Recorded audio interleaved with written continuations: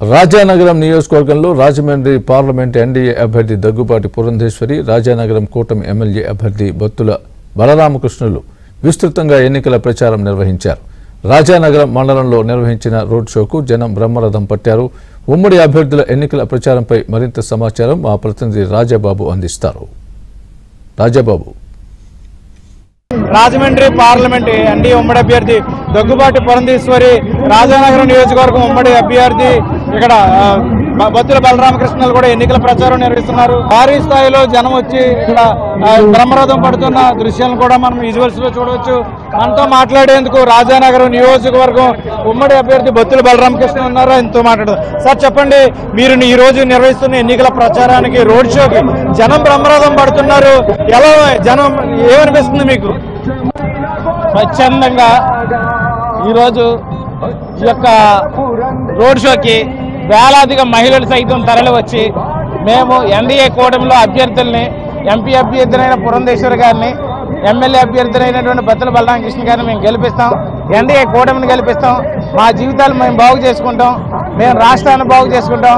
మా కుటుంబాలు బాగు చేసుకుంటాం. మా నియోజకవర్గం బాగు చేసుకుంటాం అని చెప్పి నియోజకవర్గం అదేవిధంగా రాష్ట్రం అభివృద్ధి చెందాలంటే ఖచ్చితంగా కూటమి గెలవాలని చెప్పి ముక్తగండంతో ప్రజలు వాలంటరీగా రోడ్డు మీదకి వచ్చేస్తున్నటువంటి వైన. ఇప్పుడు మొన్న రాజమహేంద్రవరంలో జరిగిన ప్రజాకాలం బహిరంగ సభలో మోదీ గ్యారంటీ ఇచ్చారు. ఉమ్మడి అభ్యర్థులు గెలుస్తున్నారు అమృత గడియలు వస్తాయని. ఏమనిపిస్తుంది? ఖచ్చితంగా గెలుస్తున్నారు. ఎందుకంటే బాగా ప్రజలు మాత్రం వైఎస్ఆర్సీపీని ఎవరూ కూడా నమ్మడం లేదు. ముఖ్యంగా ఇక్కడ జక్కంపూడి కుటుంబాన్ని కూడా ఎవరు నమ్మడం లేదు.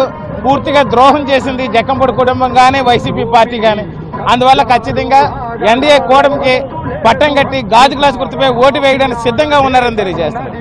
ఇప్పుడు రాజమండ్రి పార్లమెంట్ అభ్యర్థి దగ్గుబాటి పురంధేశ్వరి కూడా ఉన్నారు. ఆమెతో మాట్లాడదాం. చెప్పండి మేడం. దాదాపు రాజమండ్రి పార్లమెంట్ పరిధిలో అన్ని నియోజకవర్గాల్లో కూడా ఎన్నికల ప్రచారం పూర్తి చేశారు. జనం బ్రహ్మరథం పడుతున్నారు. ఎలా ఉంది మేడం? స్పందన చాలా బాగుందండి. ప్రజల్లో ఒక కసి కనపడుతుంది. గడిచిన ఐదు సంవత్సరాల కాలం ఏదైతే వారు అప్రజాస్వామికంగా ఏదైతే ప్రభుత్వాన్ని చూశారో విసిగి వేశారనేటువంటి సందర్భంలో ఖచ్చితంగా మార్పు తేవాలి అనేటువంటి ఒక గట్టి సంకల్పం వాళ్ళ ప్రజల్లో కనపడుతుంది. ఎక్కడికి వెళ్ళినా కూడా ప్రజలు స్వచ్ఛందంగా బయటకు వచ్చి స్వాగతించడం అనేది దీనికి నిదర్శనం అని చెప్పి నేను భావిస్తాను. మోదీ గ్యారంటీ ఇచ్చారు. ఎన్డీఏ కూటమి రాబోతుంది. అమృత గడియలు వస్తాయని. ఏమంటారు? ఖచ్చితంగా కేంద్రంలో మోడీ గారు మళ్ళీ ప్రధాని అయ్యేటువంటి విషయం ఖాయం ఖచ్చితం కూడా. వారు చెప్పినటువంటి విషయం ఏంటంటే వికసిత ఆంధ్రప్రదేశ్ ఉంటే ఖచ్చితంగా వికసిత భారత్ని సాధించేటువంటి అవకాశం ఉంటుంది. ఎందుకంటే ప్రతి రాష్ట్రం అభివృద్ధి చెందితేనే భారతదేశం అభివృద్ధి చెందుత అనేటువంటి ఆలోచన. కనుక ఆంధ్ర రాష్ట్ర అభివృద్ధికి ఏదైతే తోడ్పాటు అవసరమో ఖచ్చితంగా అది కేంద్ర ప్రభుత్వం ఇస్తుంది అని చెప్పి వారు చెప్పకనే చెప్ చెప్పారు. ఇది మొత్తాన్ని చూస్తే కనుక ఈ ఎన్నికల ప్రచారంలో జనం బ్రహ్మరథం పడుతున్నారు ప్రజలు మార్పు కోరుకుంటున్నారు. ఈ ఎన్నికల్లో ఎన్డీఏ కూటమి అభ్యర్థులు విజయం సాధిస్తారు భారీ మెజార్టీతో గెలుస్తారు ఆ నియోజకవర్గాన్ని అభివృద్ధి చేస్తామని కూడా చెప్తున్నారు.